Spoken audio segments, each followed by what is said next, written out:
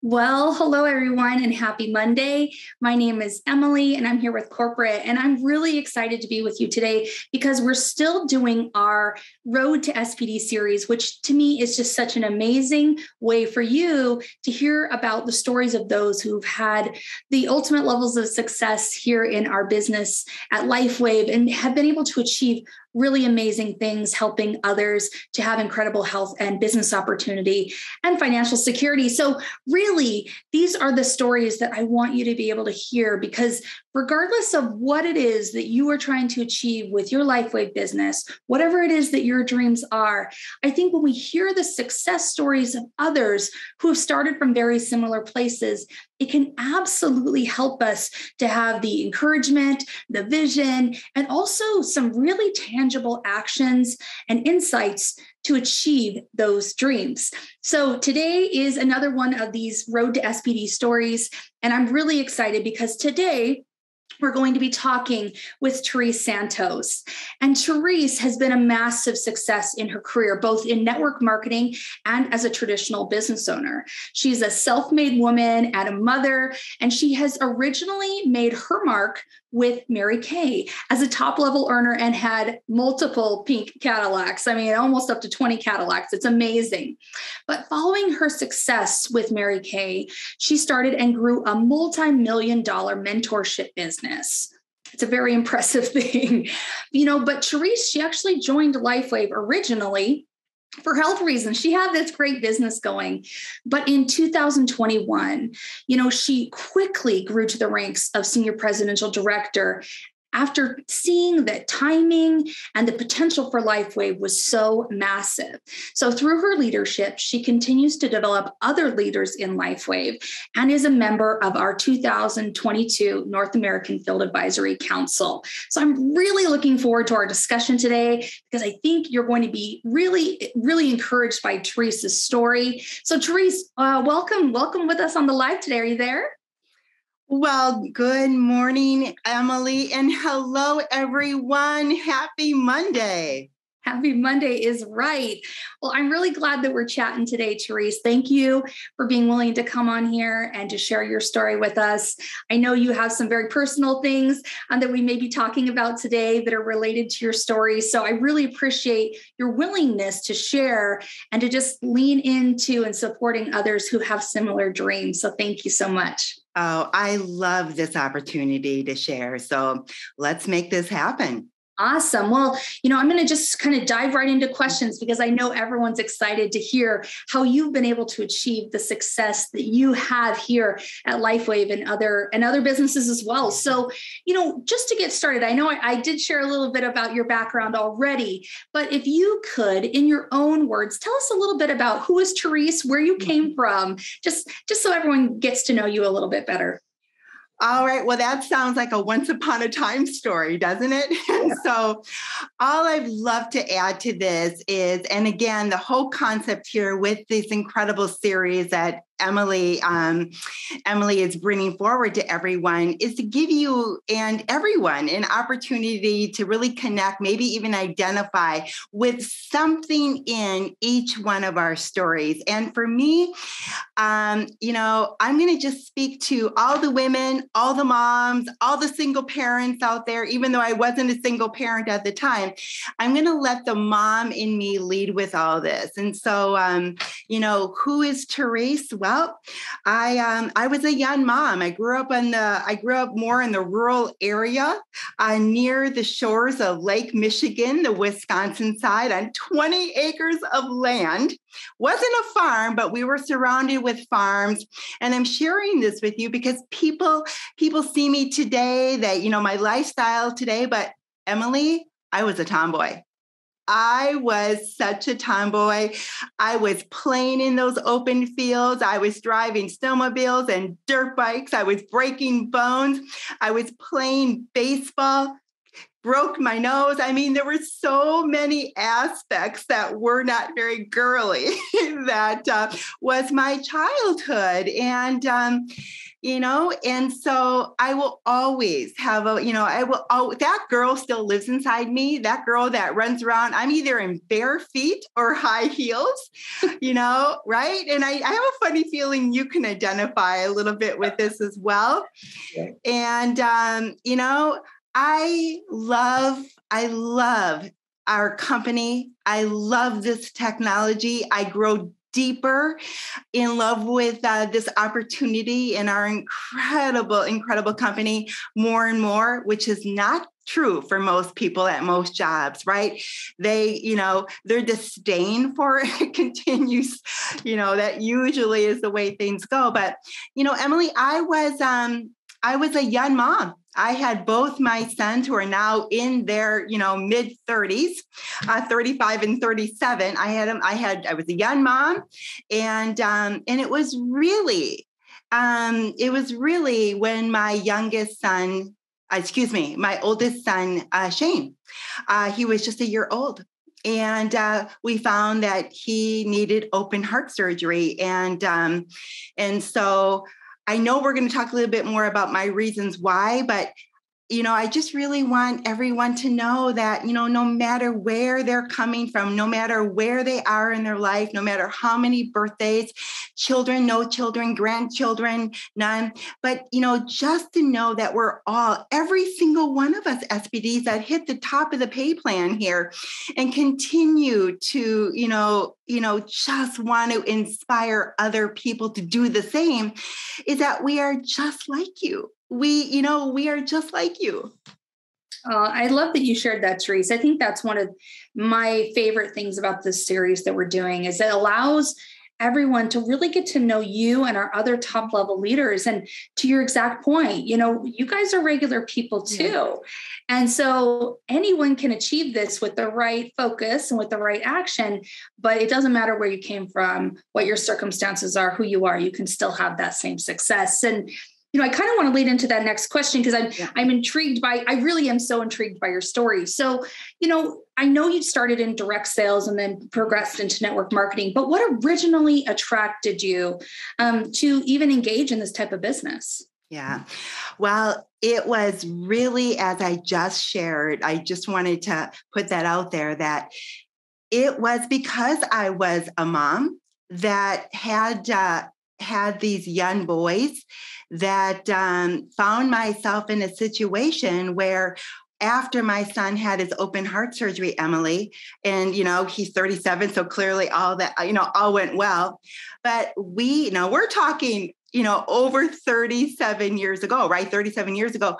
And at that time about a month after that surgery the reality of the financial burden kicked in I mean, whoa. Uh, there were, you know, at least $50,000 in uninsured medical debts that were piling up and, you know, the, the threats about wage garnishment for my husband's paycheck at the time. And if anybody's heard the rumor that some financial stress can certainly add stress to your life and to your relationship. And uh, the truth is, I, um, you know, my children's father, good man, good father father, yet wasn't, um, and he's a former spouse, and I'm sharing that because um, I'm not a quick quitter in life. But uh, the bottom line is, is that one of us need to be one of us needed to step up. One of us needed to be ambitious and find a way to create some income.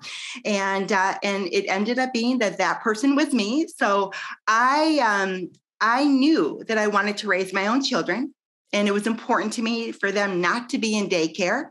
So that was my original why is that I wanted to raise my own children. So um, I actually wasn't invited. My sister in law at the time was having a Mary Kay party on a Friday night. I wasn't invited. I went to visit her, not knowing that there was this party going on. And um, the reason I wasn't invited is she didn't think I would be interested. Mm. Lesson around, you know, prejudging, right? Yeah. Well, I sat there kind of watching this thing go down. and babies. And I'm thinking, she doesn't look like a beauty professional, you know? And I thought, people are buying, you know, my family's buying from her. And I'm like, I literally recruited myself. I thought, I, in fact, I remember asking her, how much money did you just make? Remember, we are talking, you know, over 30 years ago. And she told me, and I said, hmm, I could probably do that. Because remember, I was a person looking for, I had a need. And a lot of people, lesson here, won't tell you they have a need. They won't tell you. So it's important to be a really good listener. It's important to ask questions. It's important not to prejudge or to assume just because you think someone's got themselves together. And so I was a person who absolutely had a need for income. And I saw and I was realizing quite quickly that you could do this around your family. You could set your own, you know, hours, you know, so to speak, and kind of keep your priorities in order. And that's my original reason I said yes. It was a direct sales through Mary Kay. Little did I know, 28 later in that company, it would create, you know, not a seven figure income because um, even after 50 plus years um, you know that's you know that's a company that's helped a lot of women create a lot of six figure incomes and some financial relaxation which is a key word everyone. A lot of people today need financial relaxation. We have a highly stressed world when it comes you know we don't want you know we know what's happening with the markets. We know what's happening with job security. We know that people are in search of something. They have a need and they might not tell you so I'm sharing this. We're sharing this to let you know that the people that you love and care about, your neighbors, you know, your circle, your circle contacts, they may not tell you. That's why it's important to invite, sometimes not invite. But anyway, it was my need. And it was um, it was truly something that I grew into. Oh my gosh, Emily, I was the least likely person. Remember there, that tomboy in me? I also stuttered when I spoke. Oh. I had a nervous stutter. So the idea of doing anything that required any kind of speaking was like, mm. but here's what I learned is that when you have a need and you're willing to step outside that infamous comfort zone, that's where change is found. That's where growth is found. And so I grew in this industry. I grew personally, I grew financially, I grew confidently. And uh, so I hope that gives everybody an opportunity to just look inside themselves and realize that no one starts perfect. In fact, perfect isn't even anything I ever strive for because perfect isn't natural. No, I appreciate that perspective. You know, I, I think you're absolutely right. Sometimes we prejudge people right. or we don't ask the right questions to even know what someone's need is, but there's so much out there. In fact, you know, with the way that our economy has changed yes. in the last few years, and as we've progressed through what we've been going through here as a worldwide situation, you know, our, our gig economy is very strong. There's a lot of need, like you said. Right. But why is network marketing still one of those strongest opportunities versus other ways of earning income? And how is it different than, you know, a job or even having a traditional business like like you did with your mentorship business? Mm-hmm. Well, I actually think network marketing is the best opportunity today. It creates a level playing field where anybody can start from where they are and create a very different life story, financial story. I honestly think it's not just one of the best, it is the best because it allows you to keep priorities in order. It allows you to honestly have control of every area of your life because really most people spend you know so many years working a job that they really don't love and and we know that you know one of the things that matters to you know if you if if anybody's heard me speak before, I think you know inner peace and time is you know the new money.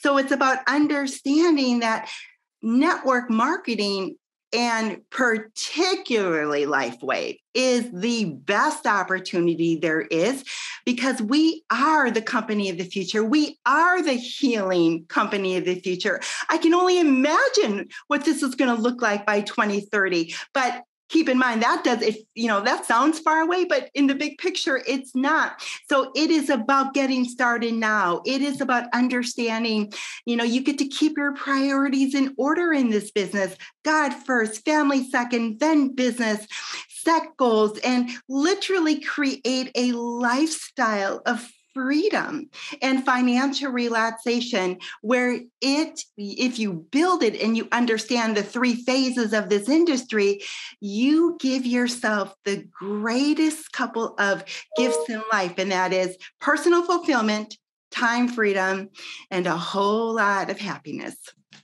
I love your perspective on that Terese because I do I am a big believer in our in our business, in our industry, but I'm totally with you. I think what we have here at LifeWave is very special and I think it speaks so loudly that you had this hugely successful business yeah. and you shifted your focus and actually mm-hmm.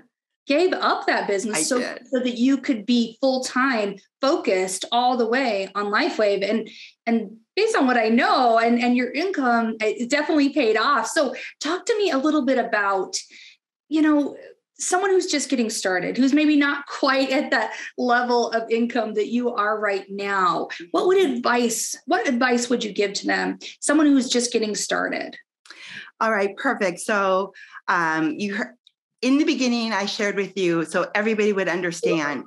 I know what it's like to have both sides, understand both sides of money, to wonder where it's going to come from, to be stressed around that, to, you know, to living a lifestyle today because of this industry, because of this industry, because network marketing, and if you build it and if you nurture it, and if you're not a quick quitter, it is the highest quality income there is. So I would say to anybody new that you have to commit. You have to commit to the three phases. In that first phase where you are learning and growing and you are you are willing to be mentored and coached. By the way, you know, that first phase. So what the phases really look like are, you know, literally be willing to commit to 3 to 5 years three to five years. It doesn't mean that people can't come in and their first 90 days, you know, literally radically change their financial story because that's been done. You know, it's like how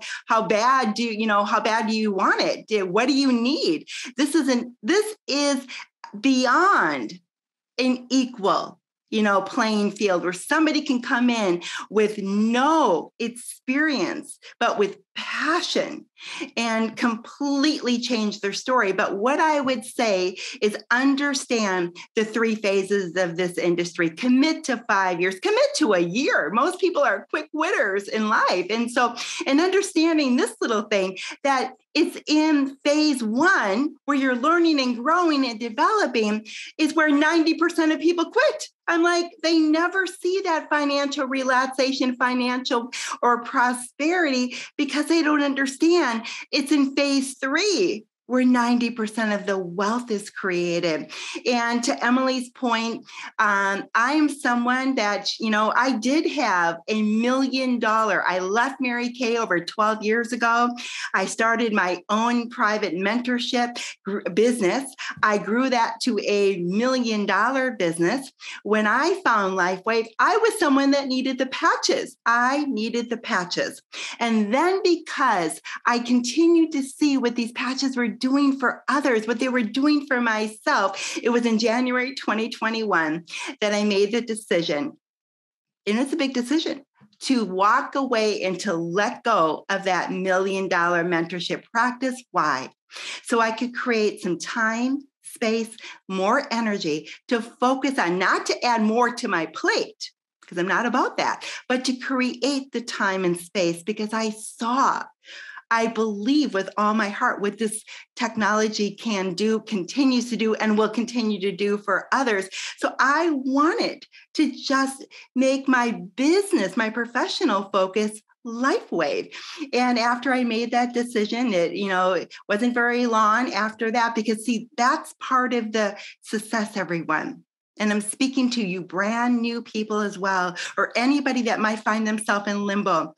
If you decide and you activate your decisions and you clarify what it is that you want and you're willing to go to school and learn and earn as you grow, I would say it's understanding that there is no higher quality income than the income you can make in LifeWave in this industry.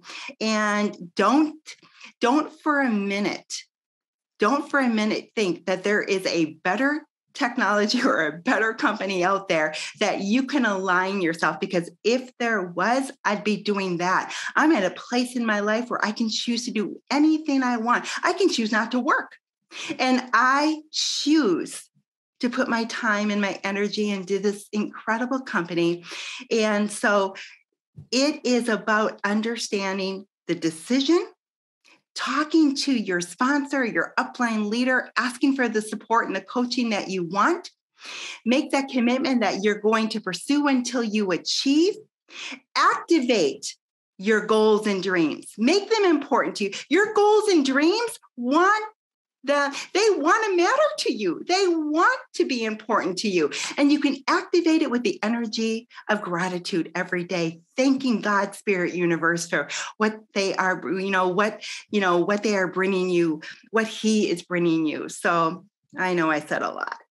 oh, it's beautiful though, Terese. And and I really appreciate what you're sharing there. You know, to your point like you don't have to work anymore. You've been so right. successful and and you're you're still continuing to share with passion to help those in your team to achieve as well. And first i would like to really just congratulate you on achieving a spot on our spd yeah. summit this year to costa rica. Congratulations. Thank you you continue to work hard. And i and i really admire that in you. And i think that will be a continued key to your success in anything you choose that you're you're constantly focused on helping others. But for those that are listening and have been inspired by what you've shared today as i know many of them probably have been I, I would just love if you could share with us you know for someone who is aiming to be on a spot on the mm-hmm. spd summit this year or maybe someone is working towards achieving a manager for the first time whatever that is what would would you say to them? What would you what would you leave them with a thought of?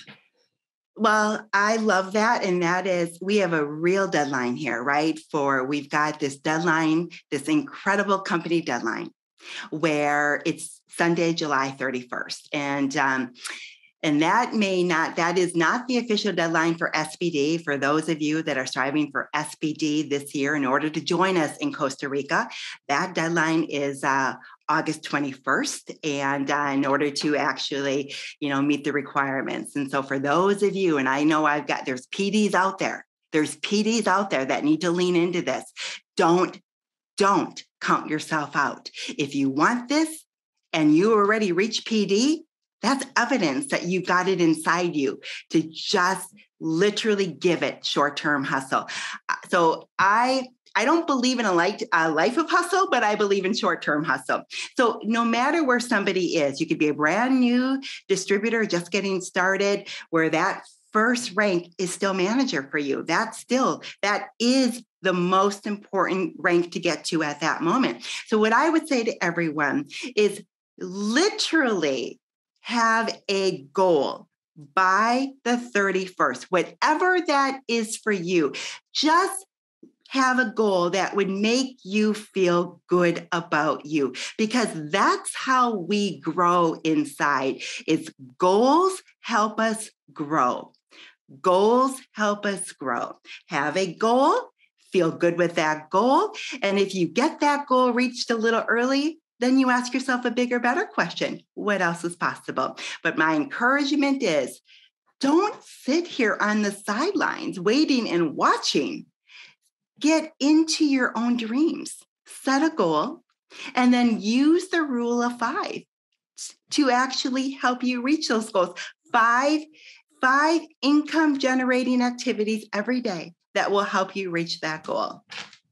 Oh, I love that, Terese you know i i love goals too and it's something that i absolutely believe in with my whole heart and so i really appreciate that you shared that you know that goals are really what are going to help us grow i hope everyone listening today to this live was able to hear something uh, that inspired them i know i was inspired and so whatever it is, whatever you heard from Terese today, write it down, post it somewhere. Like she said, have a goal, have, have a vision, um, get started because there's so much opportunity that's that's right here for you. And anyone can be successful, like Terese said. Terese, thank you so much for sharing your perspective, your story, and your insights. Really appreciate what you shared with us today. You're welcome. Cannot wait to see everyone. Um, in uh, in con- at convention in Orlando this August.